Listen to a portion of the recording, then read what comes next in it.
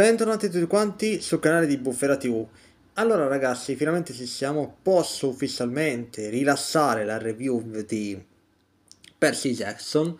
Eh, l'ho recuperata di recente, l'ho vista fine settimana scorsa praticamente. Però essendo che c'era altro materiale da cui caricare, non avevo tempo per fare la recensione, anche perché cose da dire se ne sono. Partiamo dal presupposto che non farò troppi spoiler Ovviamente farò degli spoiler per quanto riguarda i personaggi perché dovete sapere il come li hanno gestiti secondo il mio punto di vista. Quindi per chi non volesse sapere proprio niente di Percy Jackson, che non vuole sapere che niente, niente, niente, non guardi neanche questo video. Però, ripeto, non ci sono spoiler ai fini della storia, non ci sono spoiler che farò per quanto riguarda il ricalcamento dalla serie al libro, però farò spoiler sui personaggi perché un po', devo dire, la loro caratterizzazione. Partiamo dal presupposto che la serie è piaciuta.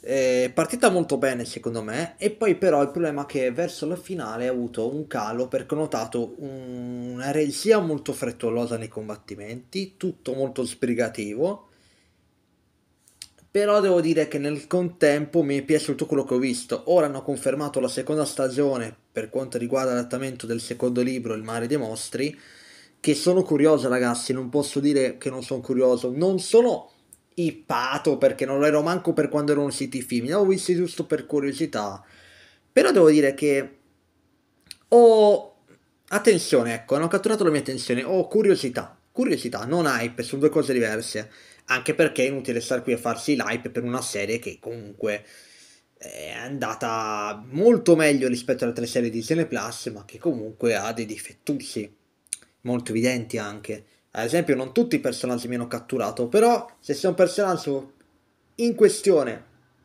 anzi due, che devo congratularmi per la scelta, è stato il personaggio di Annabeth.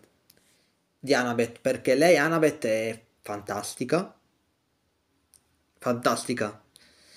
E mi è piaciuto il casting che hanno scelto per interpretarla. Molto, so che non è quella del libro, ragazzi, perché anche Annabeth nei film era interpretata da Alexander da Dario, i capelli rossissimi, infatti lei era rappresentata così nel libro, però chi se ne frega. Se il personaggio è gestito e caratterizzato bene, quanto basta. E poi Percy Jackson mi è piaciuto, ovviamente Percy hanno preso un ottimo attore per interpretarlo, secondo me è molto giovane. Mm. Poi per quanto riguarda eh, l'altro personaggio di cui vi parlavo era Medusa Medusa mi è piaciuto tantissimo l'hanno, come l'hanno fatta, molto molto misteriosa perché anche il fatto dei serpenti non è che te lo fanno capire subito, però se ad esempio quando Percy Jackson arriva nel film e vedono le statue, ok, Annabeth disse ok Medusa, fermi tutti. Ecco, qui questa cosa non accade subito, se lo sanno che è Medusa, però non te la mostrano subito e sia un combattimento stupendo eh, che dura pochissimo però perché è praticamente come se non si fosse. Praticamente grazie a uno stratagemma ideato da Annabeth riescono a fare quello che succede nel libro ovvero mossargli la testa e poi come sapete anche voi vedendo i film la testa se la trascinano dietro per tutto, per tutto il viaggio ecco anche se nella serie questa cosa non accade. Ecco, una cosa che non mi è piaciuta, hanno saltato un passaggio che era presentato sia nei libri che nei film, ovvero lo scontro con l'Idra. L'Idra non manca. Ci sono tutte le creature citate nel libro, eh, penso di averle viste tutte, ma non c'è lo scontro con l'Idra. Questa cosa a me non è piaciuta perché è un tassello, sì, che non è importantissimo ragazzi, però di tutte le creature fammi vedere la chimera, e fammi vedere il Minotauro che è l'essenziale per la morte della madre di Percy Jackson. E fammi vedere le arpie. E mi fai vedere la creatura marina. E mi fai vedere Trantatram. Insomma, mi ha fatto vedere pure il, il Cerbero Sera. Non mi ricordo. Sì, Sera il Cerbero. Nell'Ade. Però ragazzi, eh, perché non mettersi l'Idra? Se me li hai rappresentati tutti, mettersi anche l'Idra. Quindi non vedo effettivamente il problema dove stava, però chi se ne frega. Eh, ripeto, non è un difettuccio. Mi è piaciuto invece il personaggio di, Yuk.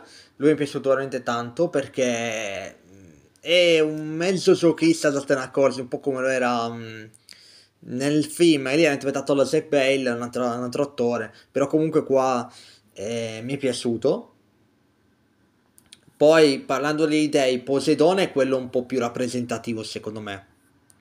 Ade non l'ho visto ben integrato, anche se mi è piaciuto comunque il personaggio.